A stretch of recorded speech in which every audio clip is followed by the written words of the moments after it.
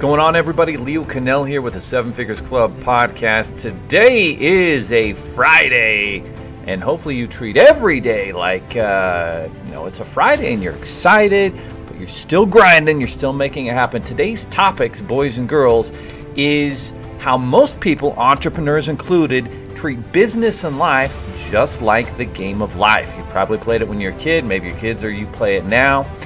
I'm also going to talk about the importance of focusing on controlling what you can control because that is the key to controlling your success, and why assuming control over everything, just like Uncle G preaches, will put you in a whole new stratosphere.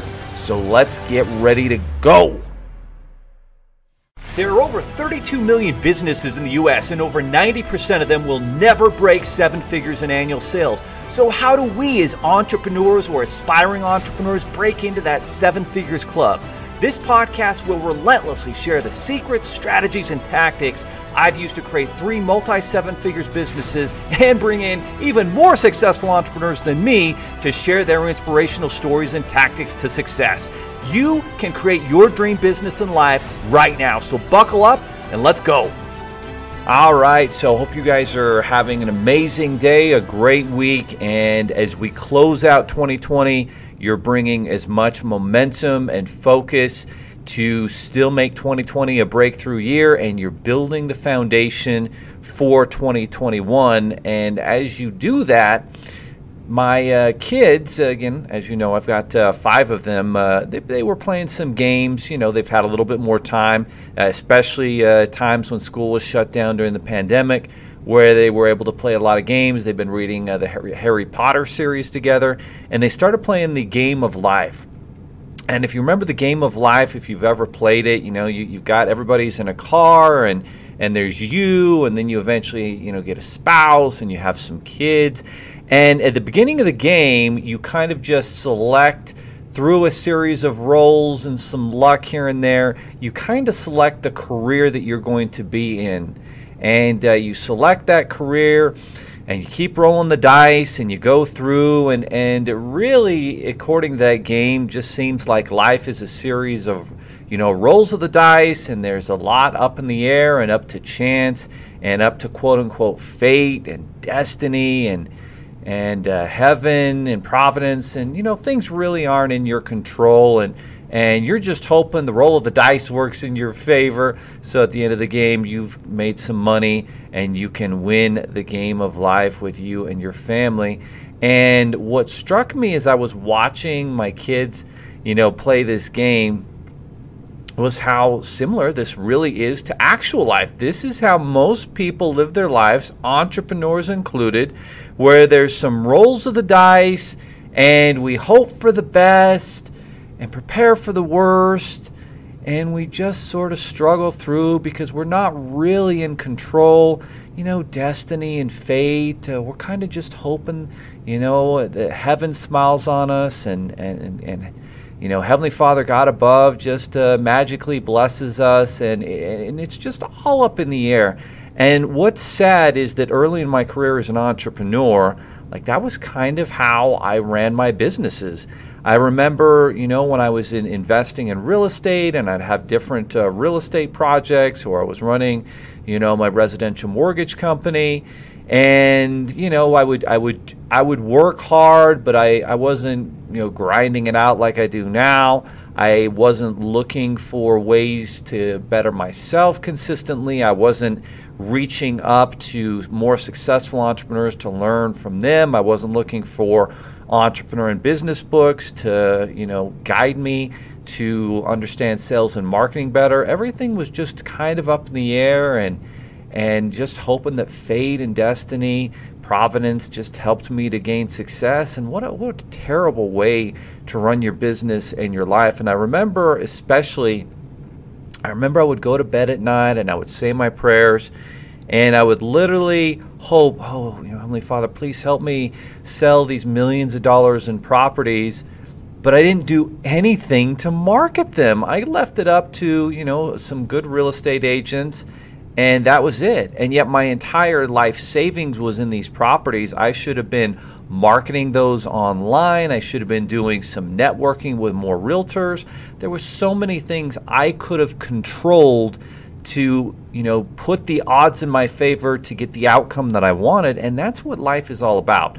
Putting the odds in your favor to get the outcome that you want and you do everything in your control and what most people do is what I did back then. No, we were just hoping hoping. And that's not how you run a business. That's not how you run sales and marketing. You don't just sit back hope and pray. That's literally what i was doing. I was hoping and praying. Now fortunately you know one of the big properties uh, that we had put a lot of money in was able to sell for $2 million and we came out with a good profit and we took all those profits put them up into other properties and again i did nothing i did nothing to put the odds in my favor to sell those properties. Yes, it was a tough time. Yes, the 08 09 recession was coming within just a few months, but there was so much more in my control. And in fact, I just sort of let it go up to fate. And what a horrible decision that was. And that, my friends, is what what gets to one of my values and principles that we've got on our wall here at Seven Figures Funding, and that is Control what you can control. When you focus on controlling what you can control, well, that, my friends, is the key to controlling your success. You don't leave it up to fate. You don't leave it up to, you know, God above. You take massive action to make things happen. You put all the odds in your favor, and then you're okay with the results, and then you and then you pray, and then you you ask you know that hopefully things will work out uh, you know from heavenly father. But that's what you do. You don't just leave it up to chance destiny and fate and chalk it up well i guess it just wasn't wasn't in the cards for me. I guess fate and destiny just didn't decide and it's just this bs mentality that so many people live by so many people live by the game of life they're just rolling the dice and just hoping for the best and that does not lead to success. The people that achieve massive success didn't get lucky. They worked their butt off, they controlled everything that they could in their realm, and that put more odds on their side for them to achieve massive success. And that is how you do it in business as an entrepreneur. You don't just hire some sales company and hope for the best. You take massive action. You build up your social media business pages. You build up your following. You reach out on LinkedIn, which is one of the most underutilized social media platforms, according to Gary Vaynerchuk, in existence today. And I can tell you, in just the last couple of years, one of the keys that we teach in our funding partner program is to dominate on LinkedIn. People on LinkedIn have an average much higher per capita income. They are more driven, more successful, and they're more open to looking for strategic partnerships. And that's something, like I said, that we've got training for in our executive partner program and our funding partner program and it just takes effort. And when you do it consistently and you connect with people on LinkedIn and you message them and you get on the phone with them and you build relationships, now you start to build momentum. You start to snowball where there's a little snowball at the top of the hill and it starts rolling and it accumulates more snow. By the end of the you know, a few days, weeks, months, and years, all of a sudden you've got this massive, massive avalanche of snow coming, and it started from a very small one because of that consistent effort. And that is where you control what you can control. And it makes all the difference in the world as I as I look at our lead flow as a company where, you know, uh, we were generating a few dozen leads a month and then a few hundred and now getting up to a thousand plus in a month like all of that is not by chance. It wasn't fate and destiny. It was us working our butts off taking massive action learning from all the sales and marketing people out there working with the sales and marketing firms building up our business social media pages and and creating partnerships and building relationships and taking care of our clients. And that momentum eventually has a life of its own and that's what happens when you control what you can control. Success comes and it's not by chance. You didn't get lucky. You put all the odds in your favor, and then come what may, you can live with those results. So, assuming control over everything, like Uncle G, Grant Cardone himself says, is going to put you in a whole new stratosphere. I remember when I, you know, sponsored at GrowthCon for Grant Cardone's uh, events and, and listening to him and reading his different books. I just loved his message about assuming control over everything. Something bad happens, it didn't happen to you, it happened because of you. And what there's there's a chapter in his book, The 10X Rule, and I've read that book probably four or five times. I've had my kids read that book. And there's a chapter in there, chapter six, and it's about not being a victim, assuming control over everything, and what he wanted to call the uh, title of that chapter, and he talks about it in his Audible version. So I definitely recommend listening to it on Audible. And he's like, This chapter is Don't Be a Little Bitch. And what he meant by that was not a female dog, nothing like that. It was don't be a whiner, don't be a crybaby, don't play and act like a victim, like everything happened to you just because of fate and destiny. No, it happened because of you. It happened because of the decisions that you made that put you in that situation to succeed or fail, and you didn't put enough odds on your side to create success. You didn't learn from the negative experiences and turn those into positive bridges towards your future success and future you know goals as a business owner a business leader an entrepreneur and that's exactly what you must do. And when you assume control over everything it puts you in a whole new stratosphere. You're now playing where everything is like a game of chess and you've got all the pieces on there and you're in control of where you move them and how you're going to get checkmate on this particular project this new sales funnel this new campaign that you're running this new partnership that you're building a relationship with that's going to double your business. Everything is within your control, and you assume that control every single day. And one of the keys to assuming control is creating key performance indicators within your business. And if you don't know what a, what a key performance indicator it is, it's measurements and tracking of data that lead to your success. So in our business, we measure on a daily, weekly, monthly basis how many leads we're generating. We also measure how many clients sign a funding agreement to move forward with funding. We also measure how many people are signing up that are business coaches or want to become a business loan broker with our funding partner program. All of these things are things that we're constantly measuring. Of course, we measure how much uh, funding we're securing for clients. We measure how many clients we're able to secure funding for. And all of these things are tracked. We track what our ad spend is on Facebook, on Instagram, on YouTube, how much money we're generating in sales, what those ratios are, how much of our sales are coming from our funding partners who are recruiting other funding partners. So everything is trackable, it's key performance indicators, and it's tracking those numbers and making the tweaks and pivots because you always have to tweak and pivot. Things never remain the same, they will always change. If they, we've learned anything in 2020, it's that prepare for change is coming. Prepare for the need to pivot, prepare for the need to do a bunch of Zoom meetings instead of in person meetings. Prepare for the need to do virtual events because in person events are gone for a long time. They might not ever come back. All of these things are changes, adaptations, and pivots that you must make as an entrepreneur, as a business owner, in order to succeed. And when you're first starting out, there's a lot of tweaks, a lot of pivots that you have to make, or you'll be out of business next month. And so those are things that you must do, but you must realize that you assume control over everything. You are the one, you're the captain of your ship, you're the captain of your destiny, you're the driver of the bus in your business. And so you don't ever blame that on anybody but yourself. And the most successful people are not victims, they assume that control. They are not acting like a little baby bitch. They are making it happen and putting the odds on their side to succeed.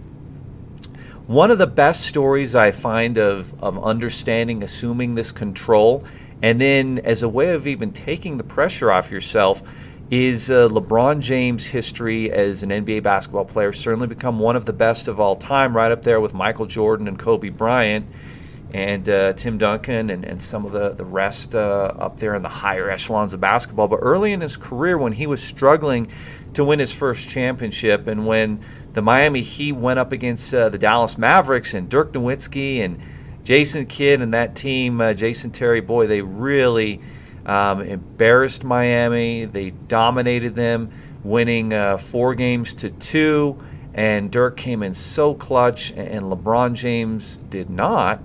And the media and fans everywhere gave him so much crap, so much crap. And the sad thing was, and he he became he was. You can say a lot of things about LeBron. I certainly don't always agree with, you know, all of his uh, his political positions and and and whatnot. But what you can't deny about this man is that he is self aware. He knows what his strengths and his weaknesses are and, and his abilities.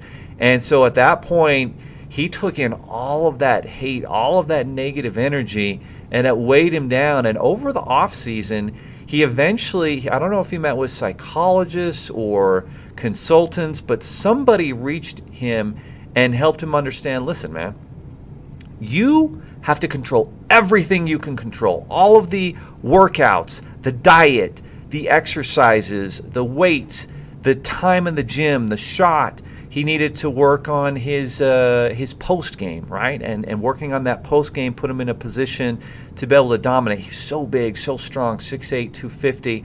And so you control everything that's within your control, within your realm, and then we'll let the chips fall where they may, and we can live with those results. And I love the way he explained that. And then the next two years, the Miami Heat won two championships, and uh, nothing was more beautiful than the way he led Cleveland against uh, the Golden State Warriors, the team who had just achieved the most wins in a regular season ever, and they were able to come back and beat them down three games to one in the NBA Finals. It had never happened. A team down three to one had never come back to win it, and yet he was able to do exactly that and just a phenomenal job of controlling what he could control with his team, with the principles and values that he established with his team to live by, and controlling everything on his side, and then letting the chips fall where they may, taking that pressure off him. And I can live with those results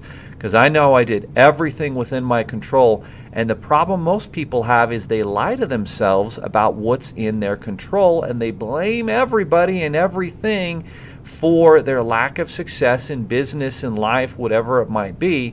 And that, my friends, is what we cannot do. We must assume control over everything. We're not going to do this is not the game of life. We're not just, you know, going to go by the roll of di- roll of the dice and live with those results. We're going to control everything we can within our end and get better every day, every week, every month, every year, and then we'll let the chips fall where they may and we'll live with those results because we did everything within our power to make it happen. But we're self-aware enough to know when we're effing up, when we're doing a shitty job, when we're not controlling what we control, we're not taking massive action, we're not improving ourselves, our ability to do sales and marketing and products and give our customers and clients the best experience that they can have, our strategic partners, we're doing everything possible to build those relationships. When we do everything within our control, success inevitably comes. So don't play the game of life like a roll of the dice. Play it like you own it and control everything that happens in it. And make today, this week, this month, 2021, your breakthrough. Are you looking for more seven figure secrets, content, or even how you can launch your own recession proof business? Then check out sevenfigures.com. That's the digit 7 F I G U R E S.com, where we share more videos, stories, strategies, funding solutions, entrepreneurial education, and even the secret business type that's recession proof. Thank you for listening, and if you're finding value in our podcast, please give us a five star and invite others to join the club.